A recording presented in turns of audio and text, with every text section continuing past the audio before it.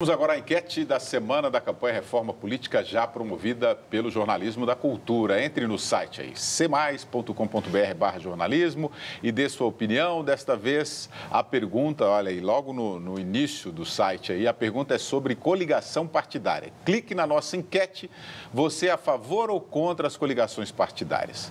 Responda a primeira pergunta, então, você é a favor de coligações partidárias em eleições proporcionais para vereadores e deputados? Nesse sistema, os partidos partidos se juntam para disputar eleições. Os votos de todos os candidatos são somados e o total é dividido pelo número de cadeiras em disputa. É o chamado quociente eleitoral. Os candidatos mais votados ficam com as vagas destinadas para cada coligação. E os votos que passam do quociente eleitoral ajudam a eleger outros candidatos da coligação menos votados. Nós também perguntamos: você é a favor das federações partidárias com tempo determinado? Esse sistema aí substitui as coligações partidárias, permite que os partidos com maior afinidade ideológica e programática se unam por tempo determinado e dividam verbas candidaturas e vagas nos legislativos. Por enquanto, a votação está assim. Vamos lá na votação. Você é a favor? Da coligação partidária, sim ou não? Sim, 4,61%, não 96,39%. Você é a favor das federações partidárias, sim, 14,59% e não 85,41%. Você também pode votar na enquete pelo nosso portal, cmais.com.br jornalismo. Participe então, dê sua opinião. Até a próxima quarta-feira. Você vê que as pessoas, que pelo menos que estão votando aí, não é contra, é contra essa coisa da, da coligação partidária. É, então, mas eu acho que isso gera uma certa confusão, porque do jeito que está formulado, é, é, a resposta é não é imediata, é não. E na verdade, o problema não é a coligação em si. Eu acho que tem um problema aí que é, é, o compromisso dos partidos com os programas e com a ideologia que defendem, o compromisso dos homens e mulheres que fazem parte desses partidos com os partidos, entendeu? Que se tivesse o, o, o compromisso de fidelidade partidária e o, e o compromisso dos partidos em fazer coalizões com grupos que têm uma certa relação com seus programas, a gente não teria esse problema, a sociedade entenderia. Acontece que no Brasil você vê coisas que não são absolutamente inimagináveis.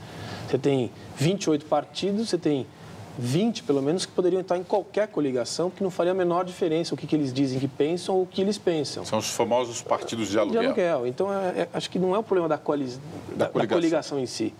É da, da, fidelidade e do programa que cada um defende. Se tivesse fidelidade e depois e compromisso com fidelidade e programas ideológicos de acordo com aquilo que faz parte daquele grupo, eu não vejo problema nenhum na coligação. E você, Pondé?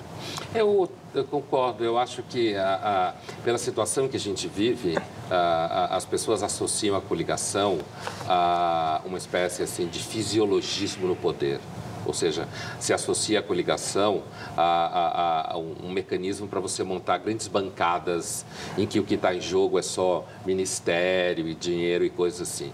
Quando eu, pessoalmente, acho que a, não é esse tipo de questão guardando-se as coisas que o Christian falava, quer dizer, de fato, é que os partidos do Brasil, eles têm, é, tudo bem que você não pode ter 100% de, a, de abordagem ideológica, é, você tem uma coisa que a política é uma, é uma atividade do real, do cotidiano, mas no Brasil os partidos são, de fato, muito distanciados de qualquer compromisso, com qualquer programa, né? Então, é, é então não me parece que o problema seja a coligação. Acho que existem problemas no Brasil que é muito, reformas no Brasil muito muito problemáticas, como a reforma tributária, por exemplo, os impostos, o modo como é feito, para você não entender nada do que acontece, e, e como eu dizia antes. Então, acho que não é tanto esse problema que gera o problema que o Brasil tem. Né? Esse aí, quem é contra a coligação, reclama muito do puxador de votos, né? Exato, porque se é um, por exemplo, o, Tiririca, para pegar o caso clássico. Por exemplo. Ou o Celso Russomano, que é um candidato que é um outro tipo, tem um histórico político, mas ele colocou com um milhão e meio de votos um candidato que teve 35 mil votos. Quer dizer, tem, é esse tipo de desequilíbrio que provoca o sistema. Uh, então, eu também não, não sou a favor disso. Quer dizer, não há, quem criou essa, teve essa grande ideia foi o Valdemar da Costa Neto, você lembra dele? Uhum. Que foi envolvido no escândalo do mensalão. Ele que criou, que teve ideia de colocar uma figura como Tiririca, lançou porque conhece o sistema do ponto de vista do funcionamento técnico e conseguiu ele próprio entrar como candidato numa, numa das eleições em função do voto do Tiririca. Então, isso é uma aberração, mas a aberração não é a coligação.